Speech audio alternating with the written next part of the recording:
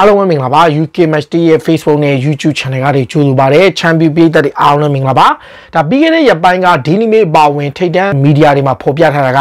Chelsea သင်းရဲ့နီးပြ Mauricio Pochettino ဟာသူ့စိတ်ကြိုက်ကလပ်သင်းကိုစတင်ပြီးတော့တိစောက်တဲ့အခါအသင်းမှာမလိုအပ်တဲ့ကစားသမားတွေကိုရောင်းထုတ်မယ်။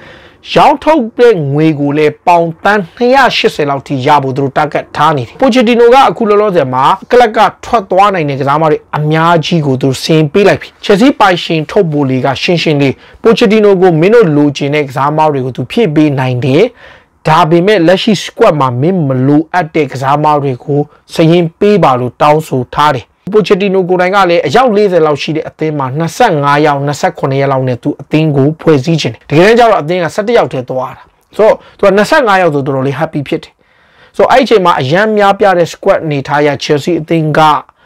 ရောင်းထုတ်မဲ့ကစားသမားတွေကိုပေါင်တန်280လောက်ထိသူတို့ target ထားတယ် ဒီနေရာမှာ Chelsea ရောင်းထုတ်မဲ့ကစားသမားတွေထဲမှာ Dennis Zakaria ကိုသူတို့ပြန်ပို့ပြီးတစ်ဖက်ကတော့သူတို့ဘက်က Joao Felix ကိုပြန်ပို့ပြီးမှ Ruben Loftus-Cheek ကို AC Milan ကခေါ်နေတယ်ပုဂ္ဂိုလ်ဆိုင်တဲ့သဘောတူညီမှုရပြီး၄နှစ်စာချုပ်ချုပ်မှဖြစ်တဲ့ကြောင်း Chelsea ကလည်း Loftus-Cheek ကိုထွက်ခွာခွင့်ပေးမယ်ဆိုတော့ကွင်းလေကစားမတွေက Loftus-Cheek က Thomas Tuchel လက်ကမှာ right wing back position ကစားခဲ့တာဖြစ်ပေမဲ့ Chelsea က Ruben Loftus-Cheek ရှိကနေပေါင်25သန်းလောက် target ထားတယ်နောက်တစ်ယောက်ကတော့ Conor Gallagher ပေါ့လေဒီကစားမကို Crystal Palace အပါအဝင် Premier League ကလပ်တွေကပြန်လိုက်နေတယ်ခေါနာဂလာကာကိုချက်စီကပြီးခဲ့တဲ့ရာသီမှာတရားစီ keep ထားပေမဲ့သူ့ကိုပိုချတီနိုကစိတ်ကြိုက်ဖြစ်နိုင်ပွဲမရှိဘူးလို့သုံးသပ်နေကြတယ်ဆိုတော့ပိုချတီနိုကခေါနာဂလာကာအတွက်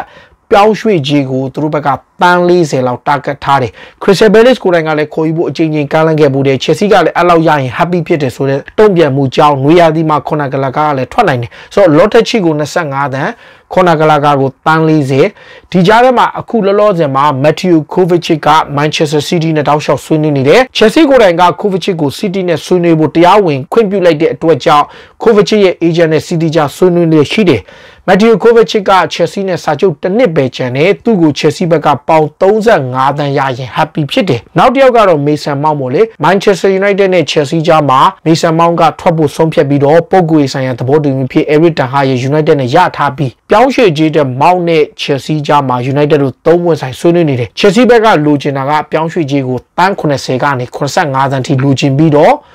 Manchester United ကသူ့ကို55တန်းပေးမယ်ဆိုတဲ့အချက်ဒါပေမဲ့ Chelsea ကတော့သူတို့ရဲ့ minimum rate က80ကနေ85တန်းရရင်ရောင်းမယ်ဒါကလည်းမောင်းကိုသူတို့ရောင်းမယ်အချက်ဒီကြားထဲမှာသူတို့ဘက်ကခံစစ်တဲက Travel Chalova ဆိုတဲ့ကစားမကို Inter Milan ကစိတ်ဝင်စားတယ်အဓိကတော့ Inter Milan က Sergio Ramos ထွက်သွားတဲ့ Paris Saint-Germain ကိုပြောင်းဖို့ပြင်နေတဲ့ မီလန်ရှ်ကွမ်ညာနေမှာအစားထိုးမှာပါ Ramos ထွက်ပြီးတော့ရှ်ကွမ်ညာဝင်မဲ့ PSG အသင်းမှာရှ်ကွမ်ညာထွက်သွားတဲ့ကြောင့်အင်တာမီလန်ရဲ့နောက်ခံလူနေရာကိုချာလိုဘာနဲ့အစားထိုးခြင်းတယ်ဆိုတော့ Chelsea ဘက်ကချာလိုဘာကို25တန်းလောက် rate သတ်မှတ်ထားတယ်အင်တာမီလန်အိုက်ဂျေးပင်းရောက်မယ်နောက်တစ်ယောက်ကတော့ဘိုင်လီဗာကူဆင်ကိုအငှားချထားတဲ့ကာလန်ဟာဆန်အဒရိုက်ဖြစ်ပါတယ်လီဗာကူဆင်ကနီးပြဖြစ်တဲ့ဂျာဗီလိုဆိုကသဘောကျတယ် သူတို့ကလည်းအပီးသက်ခေါ်ယူခြင်းတဲ့အတွက်ကာလာဟာဆန်အဒရိုက်ကလည်းချက်စီကထွက်သွားနိုင်လို့ချက်စီကအပီးသက်ရောင်းချနိုင်မဲ့သူဖြစ်တယ်သူကိုယ်တိုင်အနာဂတ်ဘာမှမသိဘူးလို့ပြောတဲ့အချိန်မှာချက်စီကဟာဆန်အဒရိုက်ကို10တန်းလောက်နဲ့ရောင်းခြင်းတယ်ဟာဆန်အဒရိုက်ကချက်စီမှာနေရာမရသလိုလောက်ခလာစာတသိန်း၈တောင်းထိပေးထားရတဲ့အတွက် သူ့ကိုရှင်းထုတ်ခြင်းတဲ့ကြောင့်ဟာဆန်အဒရိုက်ရှိကသူတို့10တန်းလောက်လိုချင်တယ်နောက်အသင်းကောင်းတောင်စီဇာအစကွေတာကိုချက်စီက2နှစ်တက်တန်းတိုးထားတာမနစ်ကတော့က FC ဘာဆိုနာကိုပြောင်းမယ်ဆိုပြီးတော့မှနောက်ဆုံးချက်စီဘက်ကပြန်ညှိလို့သူအသင်းမှာဆက်နေခဲ့တာချက်စီအသင်းဘက်ကစီဇာအစကွေတာကိုပေါင်9တန်းရရင် happy ဖြစ်ပြီးတော့ထွက်ခွာခွင့်ပေးဖို့ပြင်ဆင်ထားတယ်နောက်တစ်ယောက်ကတော့ PR Emirates Aubameyang ပေါ့လေ Aubameyang ကတော့ Chelsea ကအခုလောလောဆယ်မှာဘာဖြစ်လဲဆိုသူ့ရှီကပြောင်းရွှေ့ကြအောင်မလို့ပဲထွက်ခွာပေးခြင်းတယ် report တွေရသူတို့က10တန်း10တန်းလောက်ထိလိုချင်ပေမဲ့ Aubameyang ရဲ့လောက်ခလာစာ wages ရောလက်ရှိသူ့ရဲ့ form နဲ့အနေထားကြောင့် Aubameyang ကို Chelsea က maybe 9တန်း10တန်းတကယ်လို့တပြားမှမရဘူးဆိုရင်လေသူ့ကိုလိုချင်တဲ့အသင်းရှိရင်သူတို့ဘက်ကထွက်ခွာခွင့်ပေးဖို့ပြင်ဆင်ထားတယ်သူ့ရဲ့ကလပ်ဟောင်းဖြစ်တဲ့ AC Milan နဲ့ FC Barcelona အသင်းကလိုက်နေတယ်ဒီနေရာမှာဂိုးသမားနှစ်ယောက်ဖြစ်တဲ့အထဲက Adra Mandi ကိုသူတို့ဘက်ကရောင်းမယ် Mandi ကိုယ်တိုင်ကလည်းစာချုပ်တစ်ကိုညင်းထားတယ်အဓိကတော့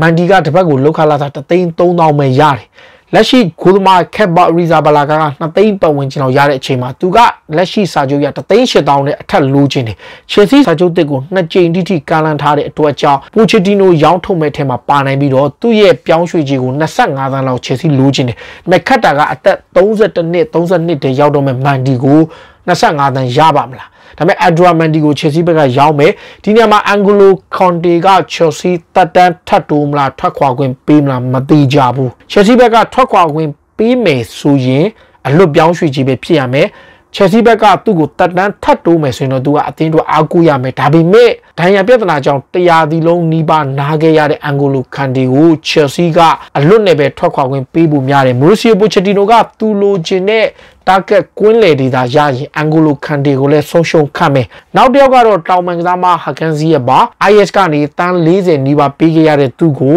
ချက်စီကပေါင်15တန်းရရင် happy ဖြစ်တယ်လို့ဆိုတယ်ဒီနေ့မှာဟာကန်စီရဲ့ကို AC Milan အပါဝင်စီးရီးကလပ်တော်တော်များများစိတ်ဝင်စားတဲ့အချိန်မှာချက်စီဘက်က ပေါင်15တန်းရရင်ဇီးရက်ကိုထွက်ခွာခွင့်ပေးမှာဖြစ်ပြီးတော့သူ့အတွက်15တန်းတောင်းထားတယ်နောက်တစ်ယောက်ကတော့ Christian Pulisic ပါလွန်ခဲ့တဲ့၄နှစ်လောက်က Borussia Dortmund ကနေတန်း90ကျော်နဲ့ပြီးခဲ့ရတာဒဏ်ရာပြဿနာတွေတောက်လျှောက်ရပြီးတော့ Chelsea မှာဒဏ်ရာတွေနဲ့ရုန်းကန်နေရတဲ့ Christian Pulisic ကို Chelsea သင်းကပေါင်25တန်းသတ်မှတ်ထားတယ်25တန်းရရင်ရောင်းမယ်လို့ဆိုထားတယ်အခုနကစားမောက်တွေကအခုလောလောဆယ်မှာ Chelsea